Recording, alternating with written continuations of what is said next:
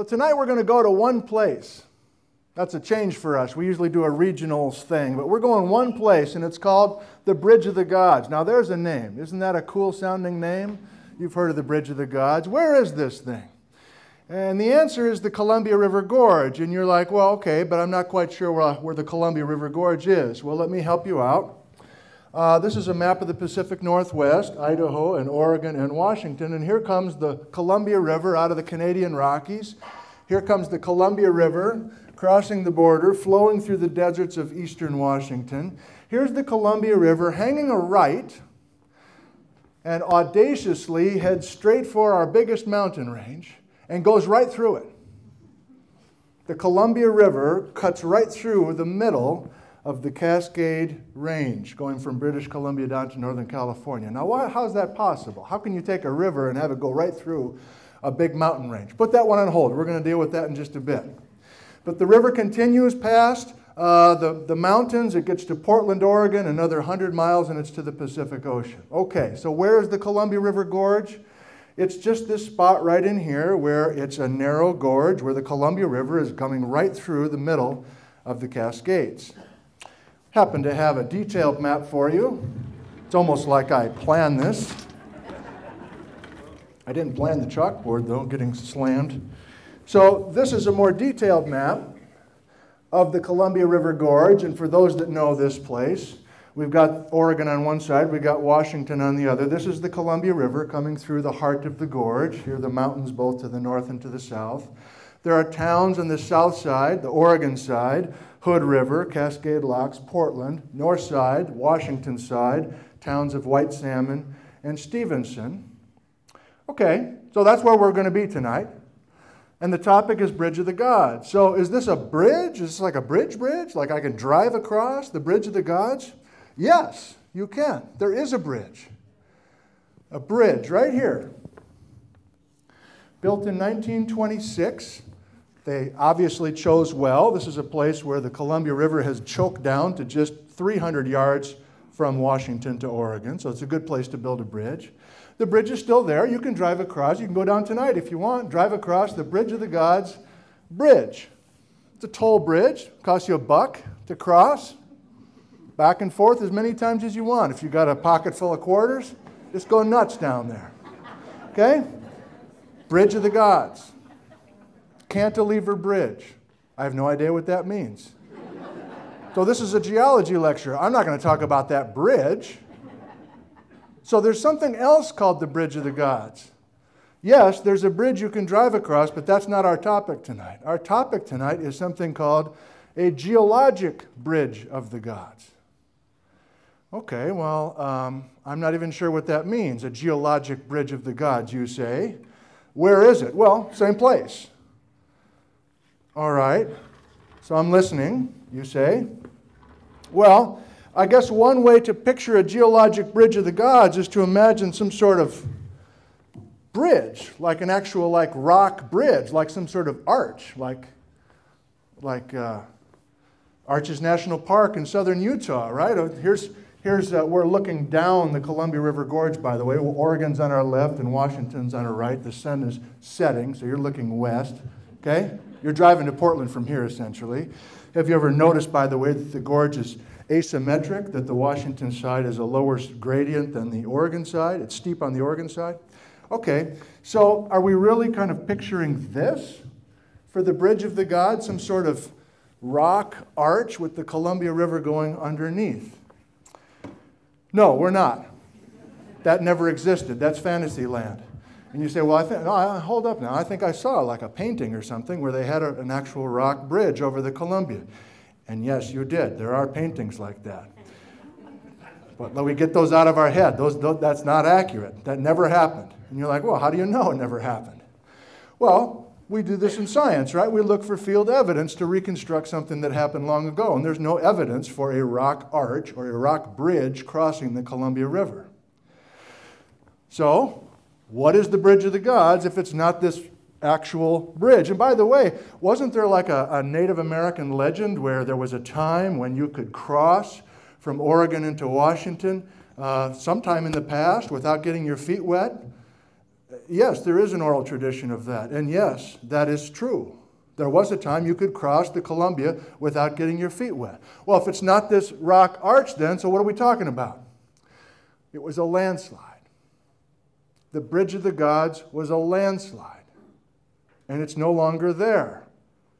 Meaning, there was a huge landslide, the Bridge of the Gods landslide, also known as the Bonneville landslide. And it was a huge portion of Washington that broke free at some point in the past, catastrophically slid down into the valley bottom, completely filled the gorge up to 300 feet of loose rubble and dammed the river. That was the land bridge, quote unquote, that Native Americans were crossing. There was this time when this bridge, this land bridge, this geologic bridge of the gods, completely sealed off the valley. And so we had not only the land bridge, but we had a lake. A lake of the gods that went 170 miles up to Tri Cities. When we dam the river, we have a lake upstream of that landslide dam. So that's our topic. And you can see in my little map here, I've laid out five questions. So we've already, not, if, you're, if you're a checklist person, keeping track, you got your pencil out. So we know where we're talking now. And we just decided that this thing is a landslide and not a rock arch. But there are important questions. How is it possible to have, how is it possible to have landslides in the Columbia River Gorge? Is this the only one? No, there have been hundreds. There have been hundreds of landslides, mostly on the Washington side, sliding down. And then once we get that out of the way, these are the two juicy questions. Can we say something about when this landslide happened and what have geologists done recently to figure that out? Do we know the answer? And an even more tantalizing question what triggered this thing? That's a big landslide blocking the Columbia River? Come on now. So, why did it happen? There's a conventional answer, there's an unconventional answer. We're going to explore both. Okay, so here's the answer for the how this is possible.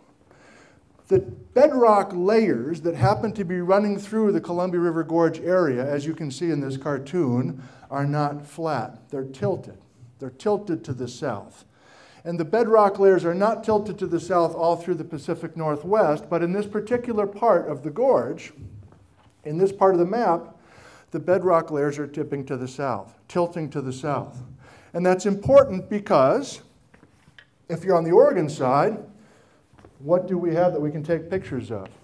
Waterfalls. Have you ever noticed that in the Columbia River Gorge, the waterfalls are all on the Oregon side? They're not on our side. That's because of the dipping beds, and it's a steep slope because we've got the beds dipping away. But those same beds can be found on, in other words, the bedrock layers, that's what I'm calling beds, can be found on the Washington side. And these are basalt lava flows coming from eastern Washington. That's a lecture that we've already done. These are not lavas from the Cascades. That may be a, a, piece of news. You're going right through the Cascade Mountains. The Cascades are famous for volcanic eruptions, and yet the lavas that you're seeing in the walls of the Columbia River Gorge have nothing to do with the Cascades. They're lavas that came out of cracks over here in eastern Washington and flowed through the gorge just like the river does. Okay. But the main idea is these landslides keep happening because we have these it's like a, a deck of cards that's all tilted and ready to go. And we're sliding these cards essentially. And to make matters worse, we have sedimentary interbeds between these basalt lava rocks. And those beds get real wet. Some of them are clays. Clays are notorious for being slippery. So we've got a recipe for repeated landslides, and the Bridge of the Gods landslide is just one of many of these events. It's a topic tonight because it was relatively recent and impacted many things that we're going to talk about. Okay? That's the how. Oh my God, we're really making progress. Well, I got a lot to say about these last two, so we're going to kind of slow down in our progress, but hopefully really dig in now and try to answer the when and the how. Excuse me, the when and the why. Okay, so there we go. I think we should talk about this landslide and make sure that we realize that that thing actually happened. I think I want to do that first, and then I'm going to do some more drawing. So, how are we sure that this landslide really did happen? Well, we've had landslides for hundreds and hundreds of years, and people have been observing these. And as geologists, we know what it looks like after a landslide happens. What do you look for? Well, you look for a big pile of rubble this isn't rocket science now, okay? Big blocks of rock and smaller rocks that are in this big jumbled mess. And this whole area here, then, is this jumbled mess of material. That's the true landslide itself, the Bridge of the Gods landslide material. Remember now, in a bit, we're going to realize that this was originally all the way across to Oregon. It completely sealed off the, the, the gorge. But since that time, the Columbia River has reestablished itself. That's why we need the bridge to get across. Okay, fine. But we're looking for evidence to convince ourselves that it really was a landslide. That's one thing. In this material, we have lakes. Lakes down in the, in the, in the middle of a river valley. That, that shouldn't be. River valleys are, are rivers that are draining. We're getting the water out of there. But we've got these lakes sitting in the middle of this area, of this middle of this map. That tells us that a landslide happened. Landslides screw up drainages. When we have precipitation on the, on the landslides, there's nowhere for the water to go. We create these sag ponds or these lakes. There's something called Table Mountain, which presides above the Bridge of the Gods landslide. Table Mountain is where the mountain broke. And so a headscarp for the landslide, a place where the actual mountain split, and you can look right into the guts of the mountain, and it's a sheer cliff with a bunch of exposed rock layers. That's there to look at. And even if you're still doubting that the landslide happened, okay. Upstream of the landslide are thousands of trees that are dead. They're standing, but they're dead. And those trees were killed because when we dammed the river, we formed this lake the lake completely submerged. They drowned these trees. And since we got rid of the lake, we go back to the river and we can see some of these standing dead trees. Lewis and Clark were the first guys to really describe these and put them into journals. Okay? There's a lot of evidence that we had a landslide and not this rock arch. But you came to this title, the talk of the, you came to this talk. The title is The Bridge of the Gods Landslide. So I'm like, you know, you already knew all that. Okay, let's move on. Um, I need to draw now. I want to keep this visible. But I need to draw a little bit about this lake because that's uh, obviously an interesting part of this discussion.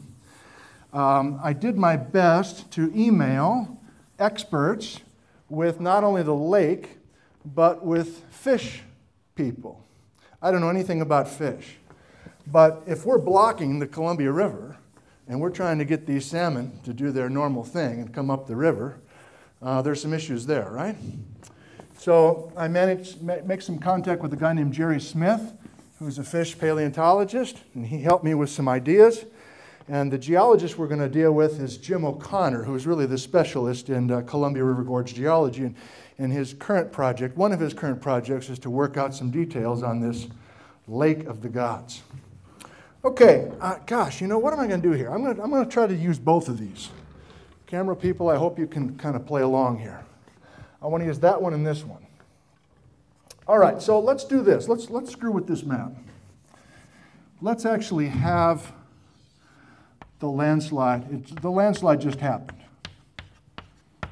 Okay, so we've got the landslide completely blocking the gorge, and we're going to back up this uh, river to the point where we have this lake. And again, the lake is going all the way up to Tri Cities, 170 miles up valley. Um, I'd like to do a cross section of the same thing. So this is a map of the Bonneville of the Bonneville landslide, otherwise known as the Bridge of the Gods landslide. This is a cross section of the same thing. I better write that. This is a cross section. Let's put a Native American up here. Okay? So the, uh, before the landslide happened, we had the Columbia River flowing from east to west. Okay? Do you see what we're doing? We're looking down on the landslide here. we're now looking at the same landslide from the side. And this is a 300 foot tall landslide that just came down into the valley. Are we all good, we all good now? Okay. So Jim O'Connor has been doing some work to try to figure out how long would it take to fill this bathtub behind the landslide dam before it breaches the landslide, before it actually starts, the water starts to spill over the top of this thing. And so O'Connor has taken the average flow velocity of the Columbia historically. He's worked with details of the morphology of the basin that we're talking about. He's a numbers guy and a fluid hydraulics guy. And so we're just going to have to take his work, and I got to go to some notes now. So uh, he has good evidence now, Jim O'Connor does, that the lake of the gods, so let's label this. This is the bridge of the gods, B O T G. This is the lake of the gods. So at maximum depth, the lake of the gods was 300 feet deep, this water behind this barrier. And O'Connor did some work to try to figure out how long does it take to fill this bathtub, essentially, behind this landslide dam. His basic answer is about six months, based on the rate of the water and the size of the basin we need to fill, six months to raise this thing. Until, if we go six months after, we, we don't even, we don't know when this thing happened yet, by the way, right? This could be a thousand years ago, a million years ago, last Tuesday, just kidding. So we don't know. We don't know when. But we're just working out the timing of this. Whenever this happened, it happened quickly. It dammed the river, six months to fill uh, the lake of the gods up to 300 feet elevation. So now water is going to start dribbling over the top of this dam, this landslide dam. Now, how are the salmon dealing with this? Probably not well. They're probably spawning still just here. They can't get any further up the river than this. And they want to get up the Yakima, they want to get up the Snake, and all the rest of our beloved rivers here in eastern Washington. But uh, then it gets a little murky. Um, when does the river start working down through this dam? In other words, when, when can we start restoring this river? Before I try to get a few dates on that, the concept we want is let me try this. Before the landslide, we can imagine the river channel, let's just for simplicity's sake, coming right down the middle of the floodplain, okay? So there's a floodplain on both sides. We've got trees growing on the floodplain. They're not in the river, they're next to the river, and it's a nice, happy, idyllic scene. Fine. Now, we bring the landslide in. Of course, we're going to stop this. We're going to have that river go away. We're going to make the Lake of the Gods. And my point here on this map is that when we finally get the Columbia to start flowing again, it's not going to be able to be in its uh, familiar course. It's going to find a way to kind of circle around the toe of the landslide. So the channel itself shifted about a, a mile to the south to get to navigate this bridge of the gods landslide and really it's still trying to get through the landslide in other words it has down quite quite a bit but there are still tremendous rapids that lewis and clark had to deal with big rocks in the river those big rocks are there because the, the river's trying to get through this, this bridge of the God's landslide. Okay, good. So we're a little bit away from the original course of that river. Um, O'Connor's got a lot of work, but here's the couple things I want to try to uh, bring along to you. So if this is our, our high water mark of 300 feet, Lake of the Gods, O'Connor has good evidence that for a while, this could be months, could be years, maybe even more, that the lake level was lowered to 260 feet. So there was a 40 foot drop, meaning that there was some sort of breaching, a partial breach of the landslide dam to get the lake to this level. And you're like, well, how does he know that originally the lake was up here and then the lake went down to 260? Well, he's got some river deltas coming in from side channels that are at that particular elevation. And those river deltas are substantial. And so he's got a good datum here that he thinks that that lake was at this elevation for a while. So his, one of his emails to me was helping me see that this is about a five mile distance. And these are rapids now. At this time, when the lake is at 260 uh, elevation, we've got uh, an incredible, hellacious set of rapids that have to rise 260 feet in a five mile stretch. What, would, what did that look like? That the Columbia is now flowing, but it's going through a major section of the landslide dam. Uh, Jerry Smith is unsure, or maybe I didn't ask the question correctly, but can the salmon deal with that? A 260 foot climb over a five mile span uh, back at this time. Jerry's general comments are look, we've got salmon that are not going extinct. We've got um, uh, a million or two million years of generation of these salmon. They've dealt with hundreds of these landslides. This is not a do or die situation. We don't have salmon going extinct because of this particular event. So you maybe want more, you want actual numbers, you know, how long did it take for the river to go through? O'Connor says we can't do that. We don't have the data yet. Maybe we'll never have the data to really figure out exactly where we had the breach, but we can say this. There was not one catastrophic breach of this landslide dam. In other words, there wasn't one event to just cut through the whole thing. From O'Connor's work, that is not true. We have instead kind of periodic or episodic breaches of this dam, probably for some freshwater floods every once in a while. What he does have, however, is one outburst flood.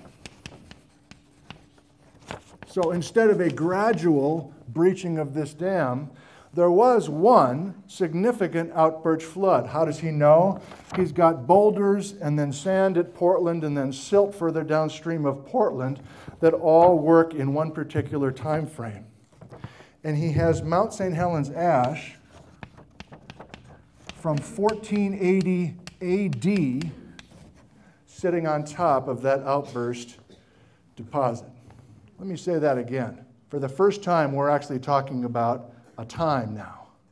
This is a date not that long ago. This isn't thousands of years ago. This isn't millions of years ago. This is 1480 AD. A Mount St. Helens ash sitting on top of an outburst flood deposit that indicates one significant breach event of the Bridge of the Gods landslide. So, what can we say? We can say the landslide happened sometime before 1480, based on the fact we have an outburst event where we have parts of the dam that are now downstream. More coming on the dates, but that's our first little taste of that.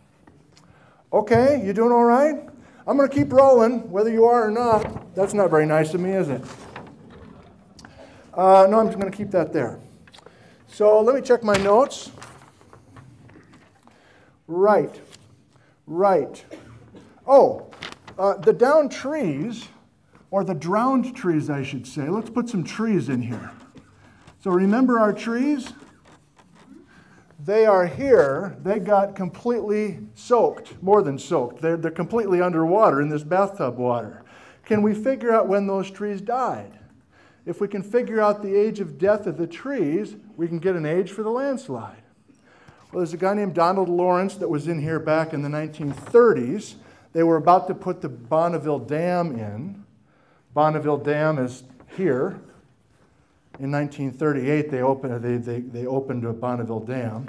So before the Bonneville Dam was actually put in, uh, this guy was running around trying to survey all these trees. He visited more than a thousand of these dead trees and cataloged them and did some tree ring analysis and tried to ultimately come up with the age of the Bonneville landslide or the Bridge of the God landslide, same thing. So that didn't work so well. He didn't get down to an actual date, but many of those samples he collected have been radiocarbon dated more recently, and so I'll cut to the chase. From dating the trees, from dating the trees, we now can get down to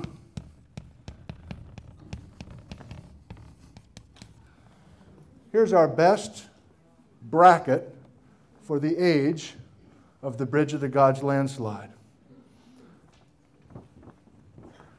The landslide happened quickly. It happened quickly. It didn't happen during this whole span. But using the age of the trees and the tree ring analysis and the deposit downstream, this is as close as we can get. The Bridge of the Gods landslide happened sometime during this two and a half decade span. Okay? So, Checklist people, there we go. We've got a date for this event. Now, can we then do one more thing on the chalkboard? Can we actually speculate on why that event happened? Uh, I've got other facts and figures here I'm just going to blow by. All right, good. So I think we need a timeline before we do anything else. So give me a chance here. Kind of warm in the room tonight for reasons I don't understand.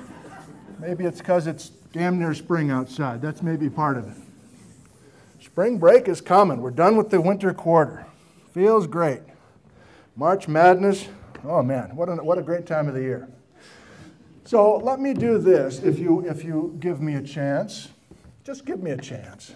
That's all I ask. Just give me a chance. Uh, so these are dates AD 1400 AD, 1500 AD. Uh, we got too much to juggle in our minds now. I think we need some, something to keep track of these dates. Okay, let's put some things in here. So, what did we just decide? We decided that the Bridge of the Gods landslide happened 1425 to 1450. Do you see my timeline here? Um, Lewis and Clark came through and took notes in 1805, late October of 1805. They noticed these dead trees. They noticed the landslide. They deduced there was a landslide. But looking at the trees in particular, they thought, well, in their journals, they thought, well, this thing probably happened just a couple decades before us. Lewis and Clark did. They said, with big landslide happened, it probably happened in the late 1700s. We now know that that's not true. Okay, fine. They did great work, obviously. Um, the fellow Lawrence started looking at trees that are living on top of the Bonneville landslide or the Bridge of the Gods landslide. And the oldest tree he was able to find dated to 1562. Which tree is that? That's the oldest living tree on top of the landslide to help us realize that the landslide happened, had to happen before that. Fine. What else can we put on our timeline? Well, 1492, Columbus sailed the ocean blue. The birth of the USA, 1776. We could do some other things, but we don't need to. Here's where I'm headed. You've heard that we have great earthquakes, haven't you? Magnitude 9 earthquakes. This was not known until the 1980s. Brian Atwater figured it out. When's the last time we had a great earthquake? That's right, the year 1700. Magnitude 9, a great earthquake. You see where I'm going with this. And before I go much further, I got to choose my words really carefully. Are you ready? There is a chance, there is a chance that there's a connection between great earthquakes, magnitude 9 earthquakes that have shook the entire Pacific Northwest, and big landslides like this. I am not tonight saying there is overwhelming evidence to tie those two things together. But there's a chance because of the evidence I'm about to share with you. Okay? Are we clear on that? Not peddling one thing, not in love with it, but boy, you can't ignore the evidence I'm about to share with you to put that together. And you're like, oh, what? Uh, you just showed us that the, the big earthquake was 1700, and you just said that we have this event that happened centuries earlier.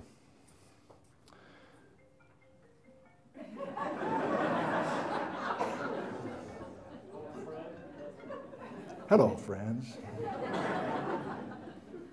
Okay, we're getting the phone. We got the phone. Good. It's all right we have a cycle of great earthquakes. They happen every so often. They didn't happen just once. And tonight we're going to look at evidence for a second to most recent great earthquake. Guess when it happened? So I got an email from a guy named David in Portland. And he sent a nice email and asked me a question. Do you think the Bridge of the Gods was triggered by a full rip, a magnitude 9 earthquake? And I re- emailed back and I said, I'm sorry, David, no. We've got this date for the Bridge of the Gods and we've got this date for the great earthquake. So we thought that for a while, but we don't think that anymore. Sorry. Thanks for the email. And he, David from Portland emailed right back and said, I wasn't talking about the 1700 full rip. I just saw something in the Portland newspaper, and they had data for many of the full rips, and they had specific dates for these great earthquakes. And the second to most recent full rip was 1468, plus or minus 50. There's always error with these events. So I'm like, wow, I'd never seen that specific date before. Is that really true? He's like, well, that's what I read. The, they, they had a little table and they had uh, all this stuff. So I started emailing. The first guy that I emailed was a guy named Chris Goldfinger. That's a name. And Chris Goldfinger um, is a specialist in studying deposits out in the ocean floor. And you're like, well, why is he out there? Well, when we have a great earthquake, there are underwater landslides that send deposits down slopes. And the nest or the result of those underwater landslides is something called a turbidite. A turbidite. What's a turbidite? It's an underwater landslide deposit.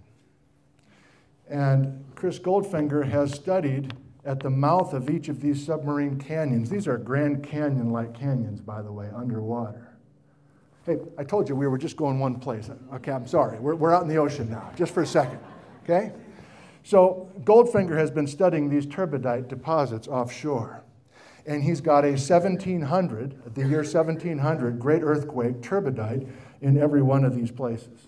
So that confirms that we had this great earthquake, and the ground shook, and these underwater landslides came down all these canyons at the same time. But in most of these locations, he's got another turbidite. He calls it T2, turbidite 2, not T1, but T2, the second to youngest full rip.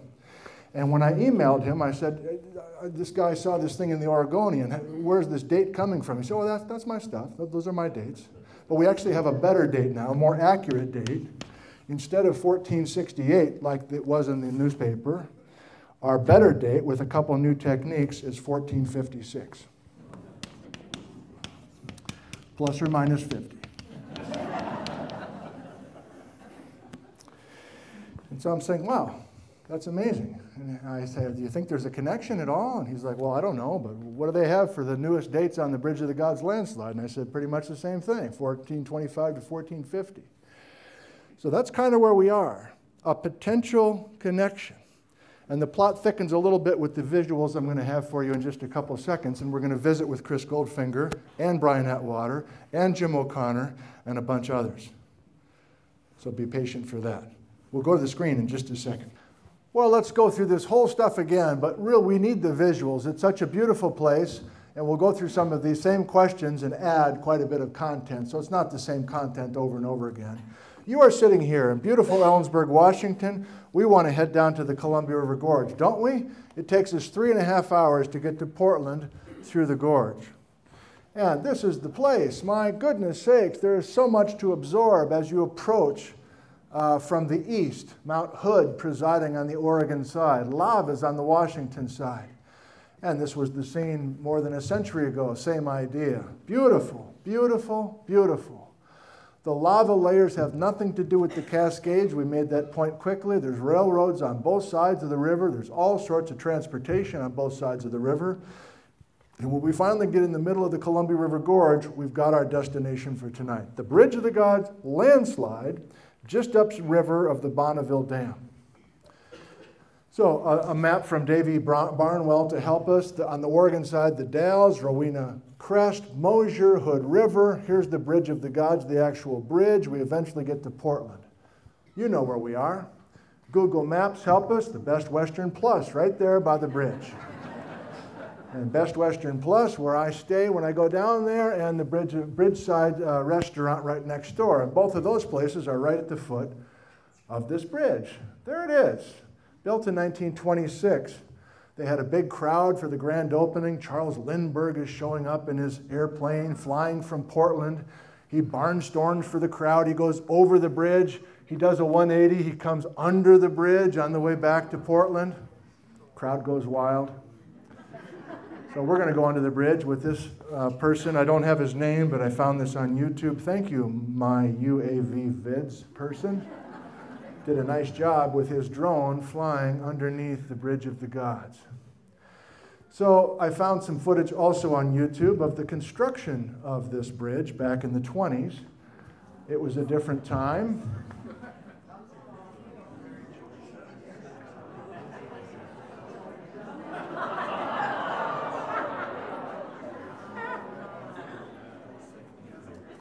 There's a little boat down there for safety in case somebody falls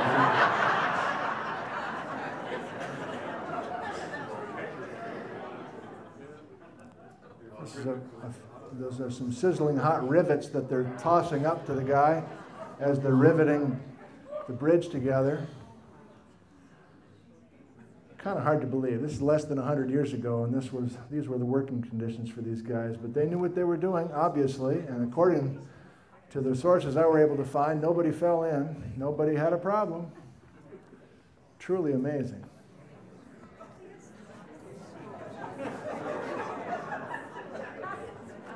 the Bridge of the Gods.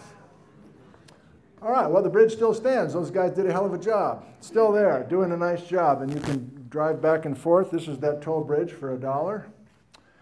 And uh, you might know this bridge for other reasons. This is the place to cross the Columbia River if you're hiking from Mexico to Canada on the Pacific Crest Trail. You can walk right across the bridge. In fact, here's a gal who has put some videos of her journey on the Pacific Crest Trail on YouTube, Gillian Larson. And she's riding a horse uh, on the Pacific Crest Trail. She's down here in California in the Mojave and working her way north, trying to get eventually to Canada on this uh, Pacific Crest Trail. And here she is after going through all of California and all of Oregon, and she's dropping down to the bridge. And her mother is taking the video now in the vehicle behind her, Pacific Crest Trail emblem. And here's Gillian uh, ready to pay her dollar. and the woman gives it right back. That's very nice. Okay, great. So that's the bridge, but that's not our topic, right? That's not our topic. Oh, this must be the topic. Oh, my goodness sakes. Where did I find this? In the lobby of the Best Western Plus Hotel.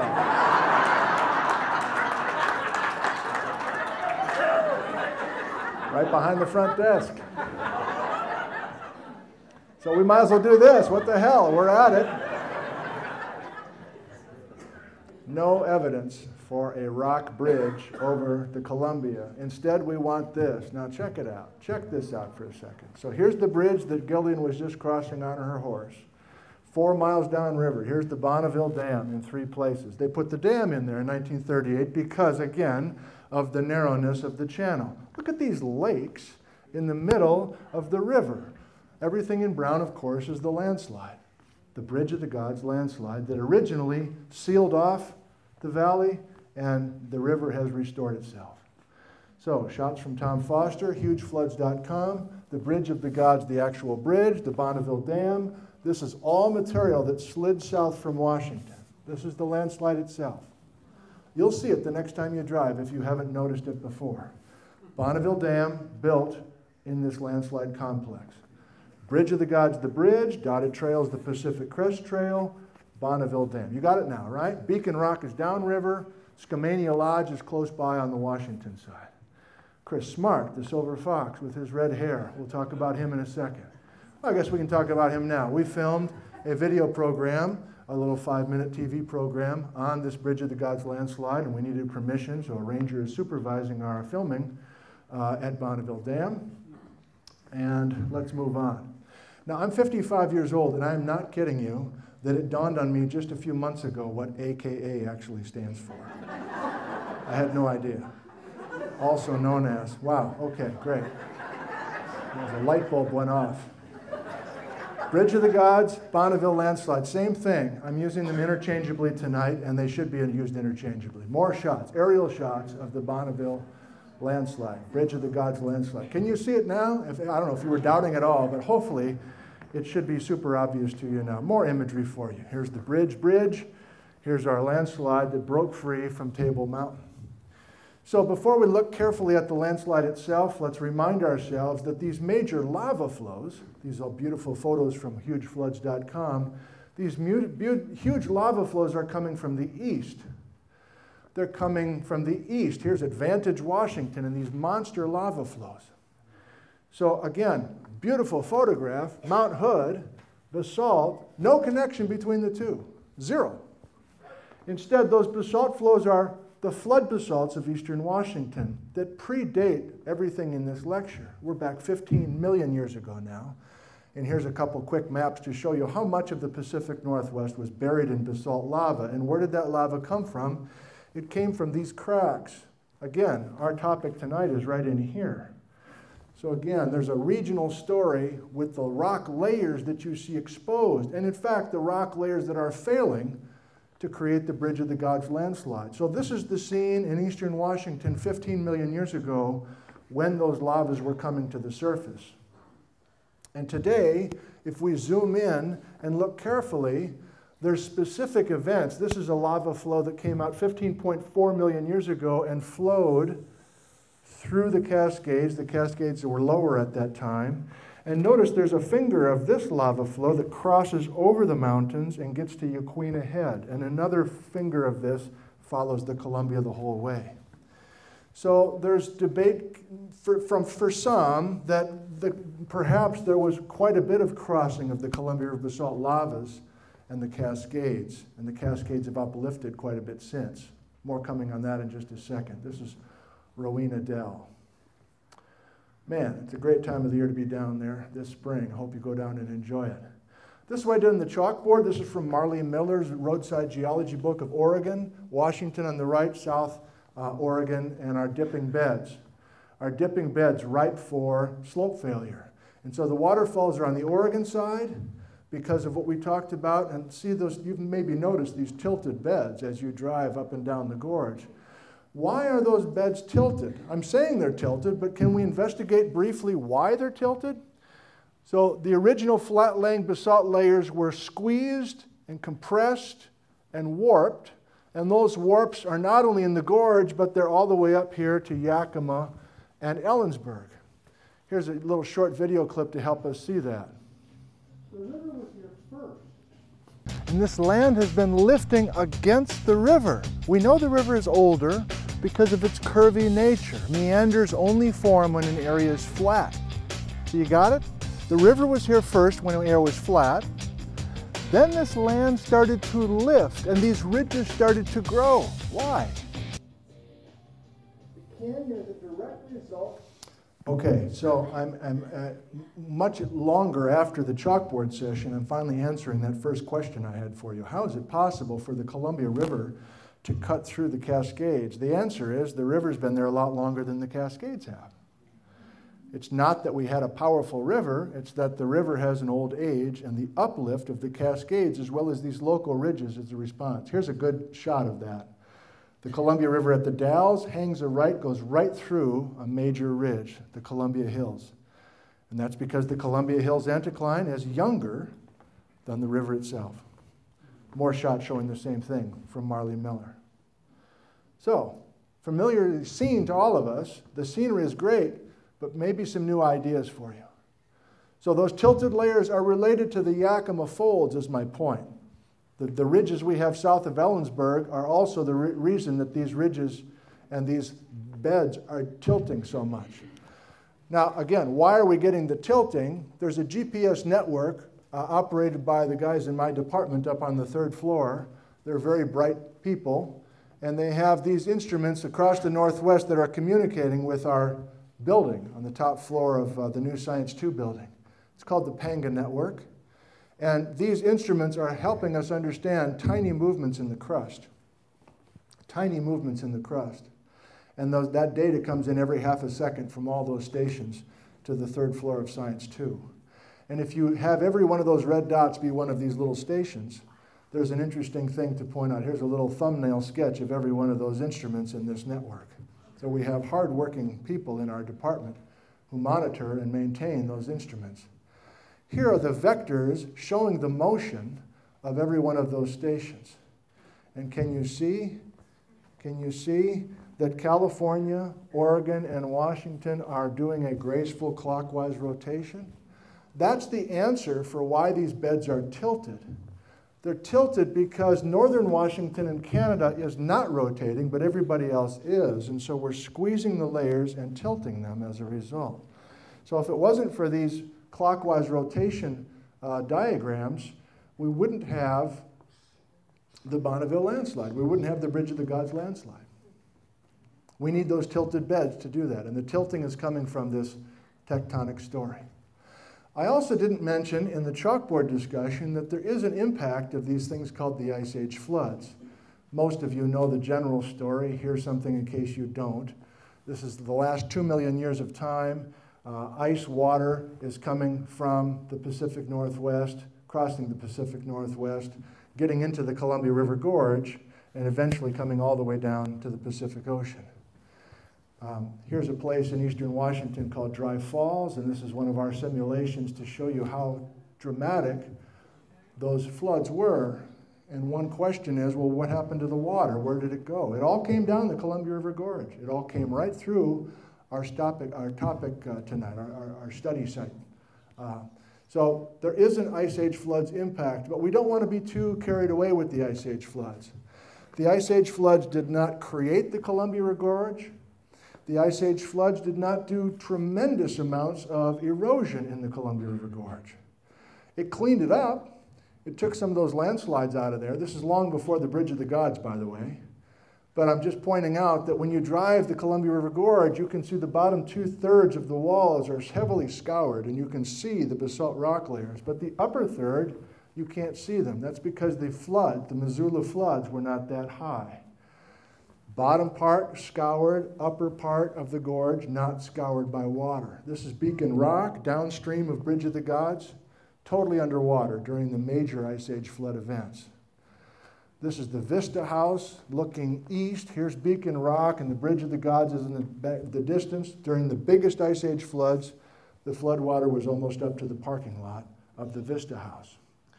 But again, not a major player in forming the gorge, and certainly not a player in our landslide topic tonight. Celilo Falls is upstream of the Bridge of the Gods landslide, and it was an Ice Age floods feature. Those rapids were not the result of a landslide, but result of ice age floods digging and scouring and, and excavating rock. And this is uh, up, upriver of the Dalles. Uh, so where we had Celilo Falls, we now have quiet water behind one of the dams. So let's get into the juicy part and talk about the details. Here's the old shoreline of the Lake of the Gods in blue behind the Bonneville landslide, which completely sealed off the gorge. Can we see where the mountain split? We sure can. The headscarp of Table Mountain helps us do that. Let's have this guy help us out. That's Table Mountain right there. You can see where that mountain split, broke, and slid down to dam the Columbia River. The Bridge of the Gods. This is Cascade Locks, Oregon, at the heart of the gorge, where the river passes through the center of the Cascade Mountains. Majestic waterfalls plunge down the steep walls of the Oregon side of the river, with the historic Columbia River Highway winding its way through dense forests. The river is choked down here.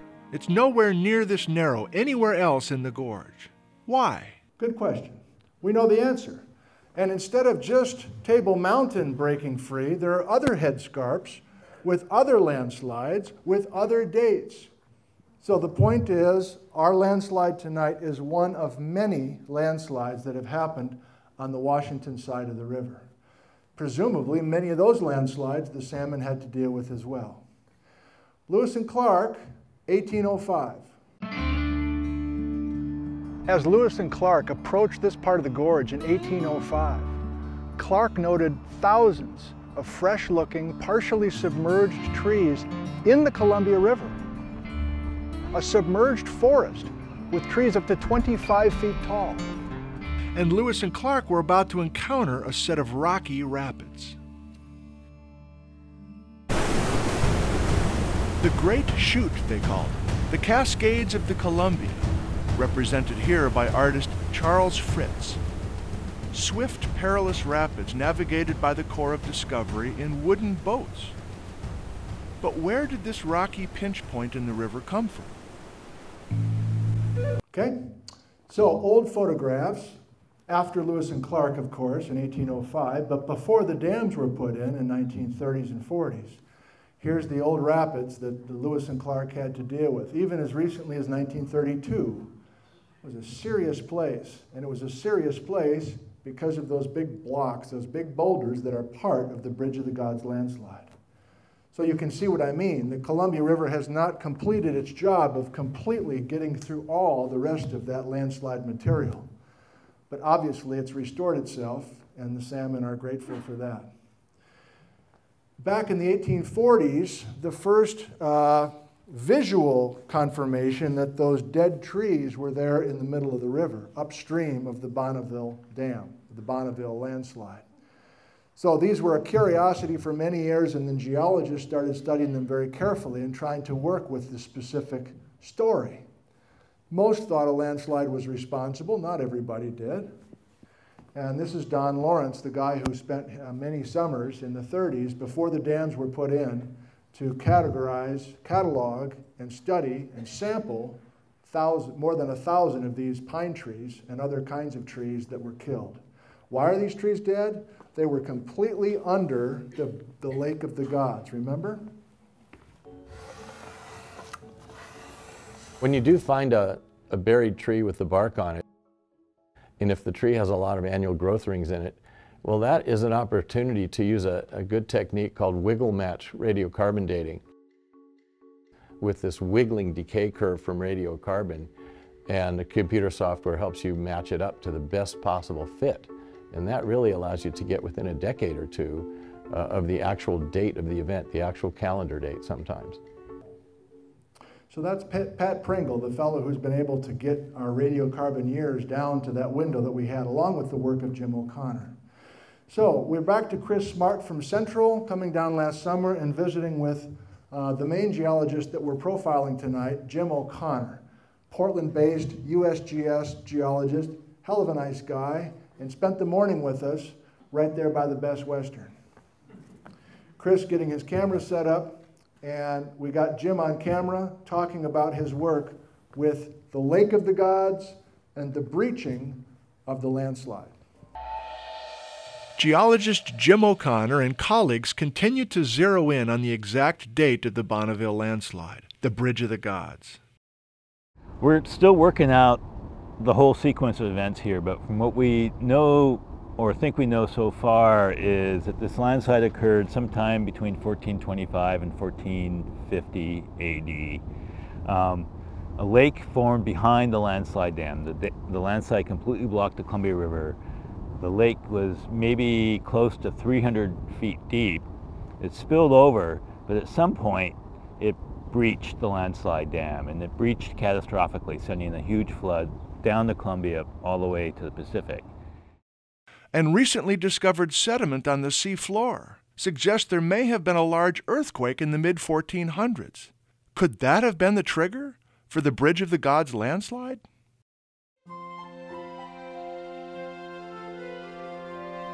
Today, the rapids, as well as most of the Cascades locks and canal, are underwater, drowned in 1938 by the reservoir behind Bonneville Dam. The Bridge of the Gods was here almost 600 years ago, but how many more landslides were here in the last couple of million years? And when will the next big landslide happen? Fine work by Chris Smart from Central Washington University. Okay, we're finishing up with our discussion of a potential, a potential, a potential connection between seismic activity and this big landslide. Lewis and Clark thought the landslide happened a couple decades before their journey. O'Connor and Pringle now have the date between 1425 and 1450. If we go offshore, we go to the submarine canyons, and we realize we have these history of great earthquakes in the Pacific Northwest, we can owe it all to this fellow here, Brian Atwater, who put this story together. He's the guy that documented that we had a great earthquake the night of January 26th, 1700 at 9 o'clock local time.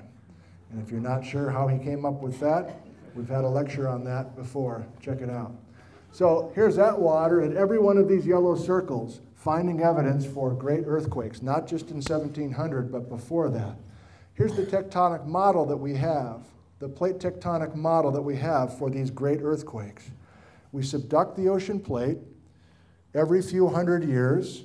We build up enough energy along the boundary between the subducting plate and the overriding plate to finally fail the boundary, release the energy, displace the water, create terrifying tsunami, and shake the ground like hell. Rinse and repeat, I'm afraid. So here's another um, animation showing the same thing. Sorry, let's go back.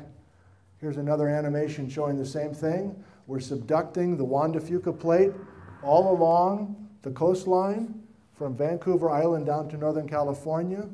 And this is the 1700 event where the entire margin ruptures. So it's a Pacific Northwest story. And we're not saying tonight that that event in 1700 has anything to do with the Bridge of the Gods landslide. Why? Because the dates are wrong, right? But what we are saying is that there's a potential story with the second to most recent great earthquake. Here's Atwater and how we find some of the coastal so Brian is a famous geologist, and he's famous because of that work, among other things, but he's the specialist on the coast, on the Washington and Oregon coast. He knows how to read this mud and how to find these uh, horizons that tell us of great earthquakes. So here's the 1700. Now this is Brian Atwater at the coast, right? So he doesn't have anything from 1425 to 1450. So let's slow our roll here just a second. Goldfinger's the guy that's got the turbidite, that's coming. But on the coast here, there is no evidence of a great earthquake from our time of the Bridge of the Gods landslide. So maybe we need to pause. But we do have one, two, three, four, five significant events. And if you're trying to picture what one of these earthquakes was like, I'm afraid we've had a couple of them in the last decade and a half. And if you're old enough to remember Alaska and Chile back in the 60s, those were all great earthquakes all great earthquakes. And every time you have a great earthquake, you're in a subduction zone that's unlocking its energy. This is the one that happened the day after Christmas 2004. And we send a tsunami across the Indian Ocean. We all remember uh, Tohoku in Japan uh, more recently. Look at the death toll here from that earthquake and tsunami. I mean, wow. This is Chris Goldfinger, the guy we've been talking about. He happened to be in Japan during this 2011 great earthquake. So he's being interviewed by NOVA to describe the tsunami experience. Once the wave starts to pick up uh, part of a town, the, the warehouses along the dock, the debris and all that, then it becomes more like a glacier. You know, it's a, it's a moving wall of debris. And the more mass it has, the more power it has as it comes in it doesn't really look like water beyond some point. It looks like the entire town is flowing in, and, and it is. So all the mass of all the buildings, cars, refrigerators, and everything that's in that wall, it's essentially a debris glacier at that point, and it just keeps coming in. Okay, we don't need any more of that. So it seems like we're on a tangent, but we're not. Remember what we're doing. We're trying to talk about a potential trigger for the Bridge of the Gods landslide, and we're almost there with Chris Goldfinger's turbidite. So let's get to these emails. So I, I, mentioned to you last fall, I get an email from David in Portland. I've never met him, amateur guy, happened to find one of my videos on YouTube and said, Do I think the Bridge of the Gods landslide was triggered by the 1468 AD Great Earthquake? And again, my first thought is I looked up this and I'm like, well, there isn't one uh, that from Atwater's evidence. This is what David saw in the Portland newspaper a plot of the last 10,000 years of time. Here are the earthquakes along the Pacific Northwest coast of magnitude 9, a full rip, 8.5, 8, magnitude 7, etc. And David's eye was drawn to what we're talking about, the second most recent full rip. In other words, the entire length of the Cascadia subduction zone releases energy. Estimated at 8.7 instead of 9 for magnitude. And that article also had a little plot of all the years and the length of the ruptures and whether it was a partial or a full rip offshore. So that prompted me to go, okay, I guess this is really something. This is from Sandi Doughton's books, and there have been 20 of these full RIP 9.0s in the last 10,000 years, and another 20 partial, according to the evidence that Chris Goldfinger has. Let me remind you now and add some visuals. Here we are offshore. We have a big earthquake, presumably. We shake the ground dramatically. We send an underwater landslide called a turbidity current down the channel, and that underwater landslide finally comes to rest. This is a landslide through water, not a landslide through air. So we are going to get some sorting. This is a graded bed as opposed to the Bridge of the Gods landslide, which is just a jumbled, poorly sorted mess. So I emailed Chris. In fact, I emailed him on a Saturday morning at breakfast time, sent the email, went out and mowed the lawn, got back. There's a full email from Chris Goldfinger, Saturday morning. This guy's working all the time. So he had a full email and basically said, Yeah, that table's my stuff, compiled somebody else. We've got a better date, 1456 plus or minus 50, and our turbidite 2 is clearly present along the full length of Cascadia in dozens of cores. It exists. Well, then I couldn't hold it. I, got I had to email Brian Atwater, the guy from the coast. And I said, Here's what I'm hearing about this T2. What do you think? Remember now, this is Atwater from the coast.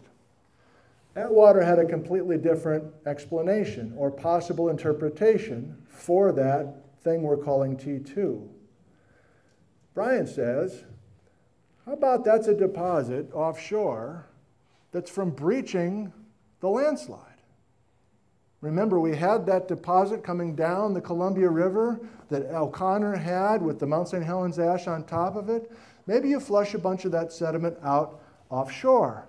And maybe that's a, uh, a, current, a, a, a high density current that's flowing at the base of the ocean, and maybe instead of a great earthquake for T2, maybe it's the actual breaching of the landslide. Emailed O'Connor. I was on a roll. This is all on Saturday, by the way. All these guys are working on Saturday. It's impressive. Uh, and O'Connor says he can't really comment on the T2 turbidite thing, but he does have that partial failure of the landslide dam, and we can follow that all the way down to the lower estuary of the Columbia. I went back to Goldfinger one more time. Uh, I suppose we're beyond Saturday by now. He says, Man, we got this T2 at most of these underwater canyons. We've even got the T2 in a basin that isn't connected to the uh, uh, sediment coming from uh, North America. And um, so he's still wondering if there's, a, there's an earthquake connection. So to review, from the work of Pringle and O'Connor, we've got the landslide between 1425 and 1450. Do we have a for sure trigger for that landslide? We do not.